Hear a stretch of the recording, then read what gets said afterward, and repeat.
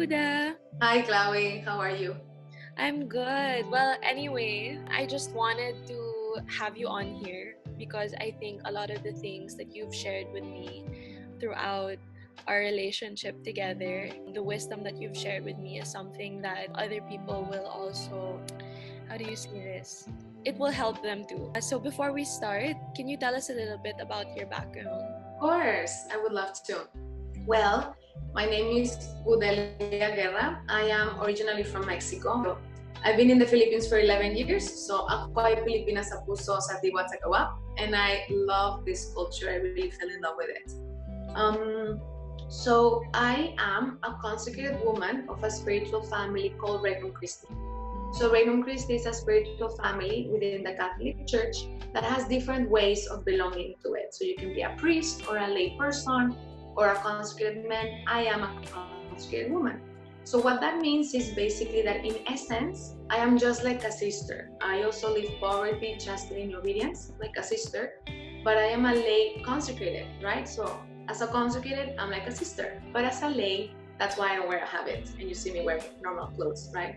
So, so here in the Philippines, for these 11 years, uh, my main work is evangelization, and my favorite thing of all times is being, being able to meet with people like you for mentoring, one-on-one sessions, spiritual direction. It's my favorite thing. Preach retreats, do missions, reach out to the less fortunate. I love all of that. Okay.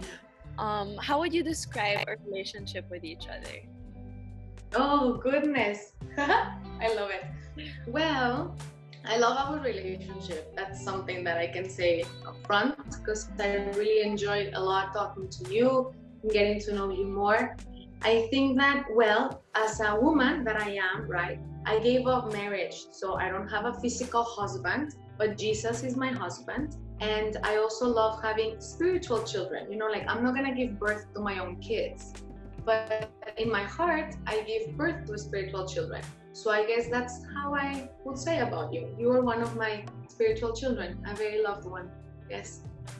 Um, I explained to you that I wanted this to be a bit different from all the other things that I've done before because this will be more conversational about us sharing our experience with each other because I just know that a lot of people are probably going through a very similar experience in their lives. So let's just dive right into it. But before that, let's just tell them like how we came to know each other, how we met, and all these things. Sure. Of course, you go first. Okay, well, because I, I don't know if a lot of people know, um, but I went to a Catholic high school.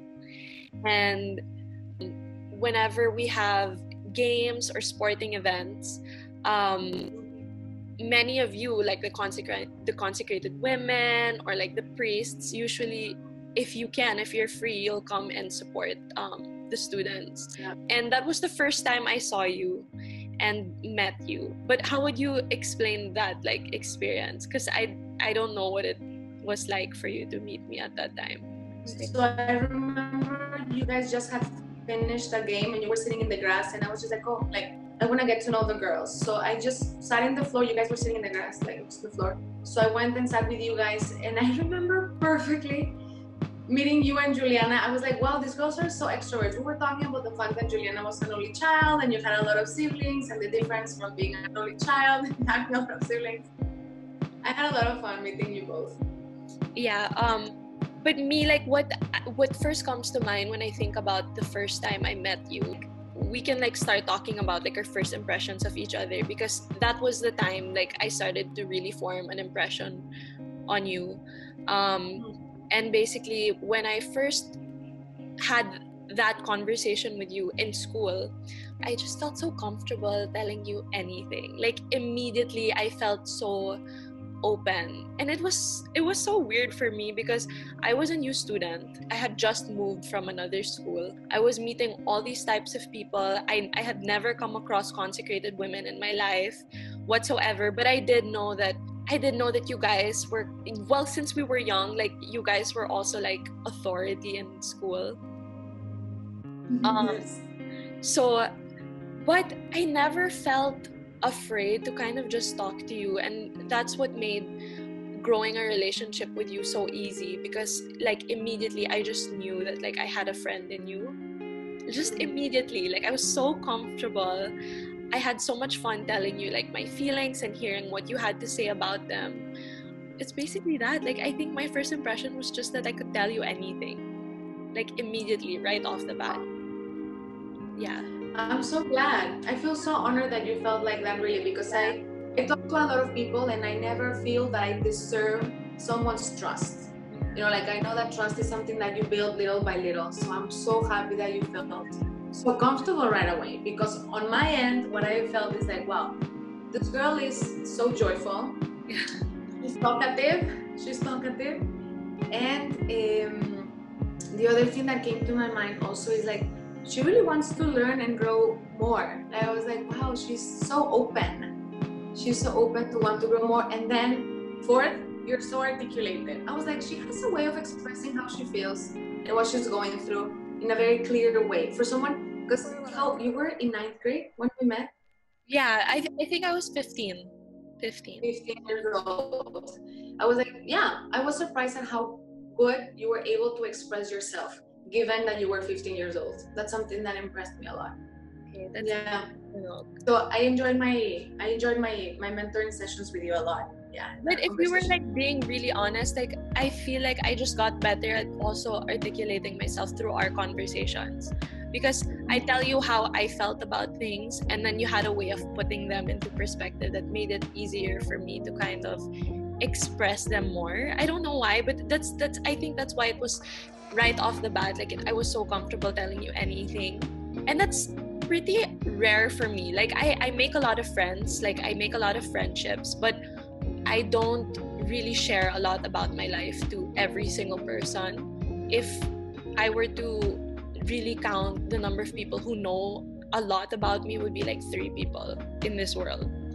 Um mm-hmm. that, was, that was new to me because i was so comfortable with you i was also able to experience like my greatest growths. And that's basically why i wanted you to be on here because it wouldn't have happened had i not like crossed paths with you. And that's just something that i really believe in my heart because that's how i see it. You're so integral to my growth as a person and my growth in faith and just all these different aspects in my life. Like what would you describe as my greatest growth or like how would you describe my growth throughout our relationship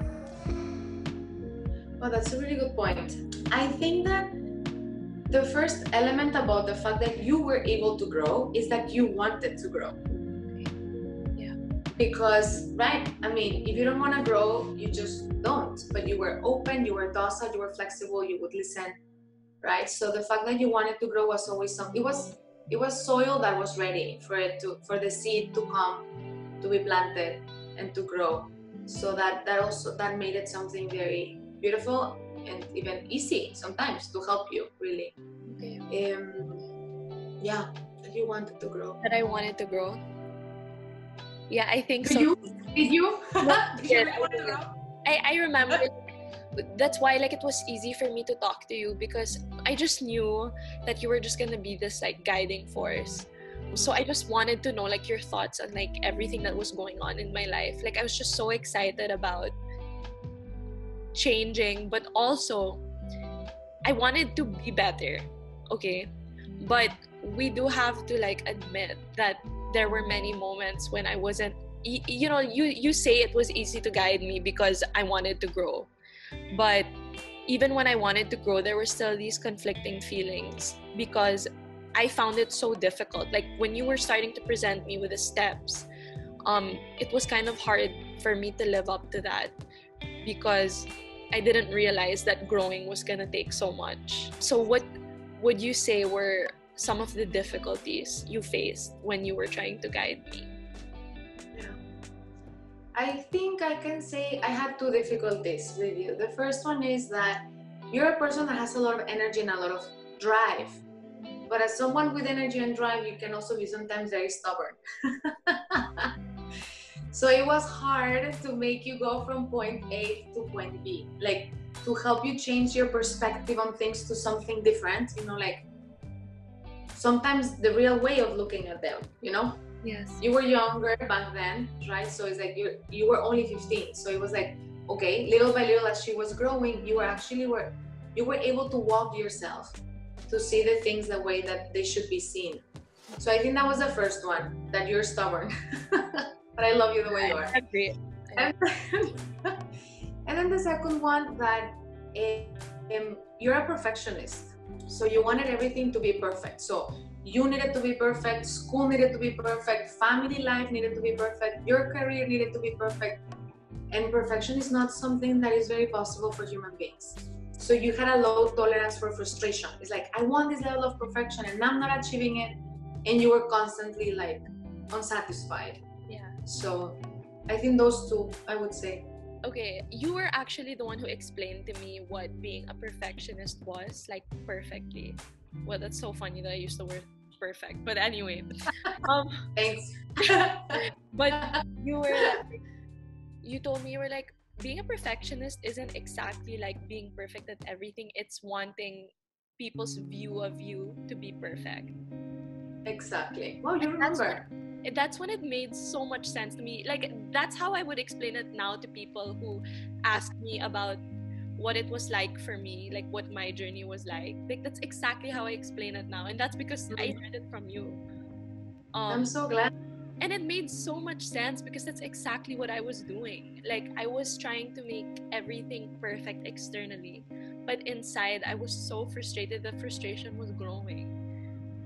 Um, so like to many people, like I was right on track. You know, a lot of these things were going so well for me, and they probably were, but I wasn't seeing it the way um, that I needed to be seeing it because I was so focused on how other people saw it. That's an experience that not only I go through, I think a lot of people also feel the same way. And that's why, again, like I wanted to be able to talk to you about it because, um, like I was saying before, I feel the most comfortable with you because I feel like you see me the way I want to be seen. Hmm. Knowing everything that you know about me, all the good things and also all the bad things that I've needed to work on, like you still continue to want me to be better without judging me for the choices that I've made or continue to make sometimes.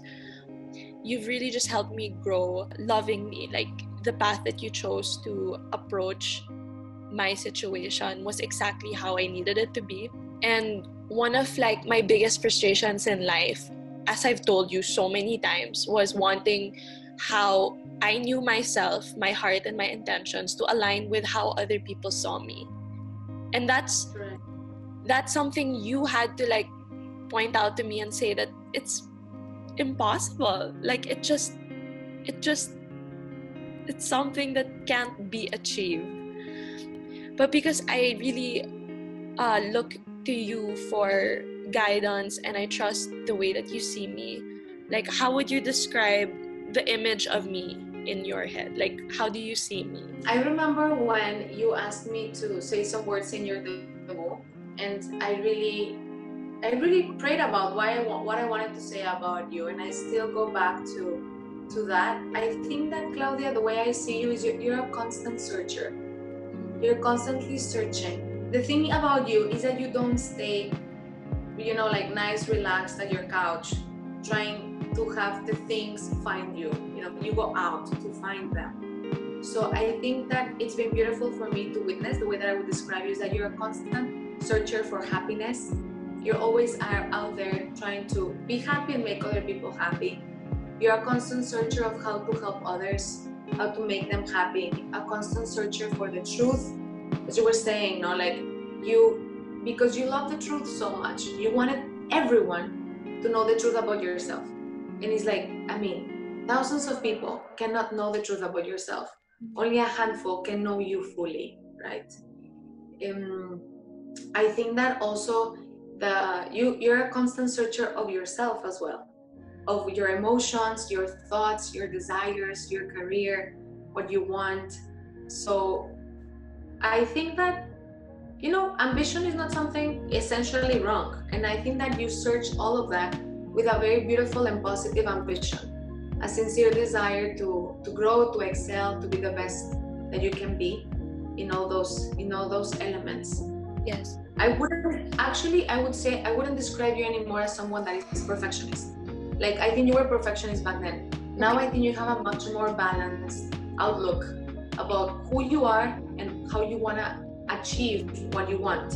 But in not not in a perfection that is not achievable. You know what I mean? Yes. Now I now I know what you mean. Before I was now you understand. before it was like I need to be the perfect student. I need to be the perfect like this, like that. Like I just needed to perfect everything. And I didn't understand the importance of just like how great just being balanced is. Like it didn't have to um one didn't have to outweigh the other or um especially like what other people thought of me it didn't have to outweigh like my inner um value like the way i valued myself um and one of the biggest things that i learned from you like even when i was coming up with this whole episode and like talking to my friend about it i told him how the reason why you were able to help me so much was because you made structure and like routine seem normal. Like it it didn't seem scary.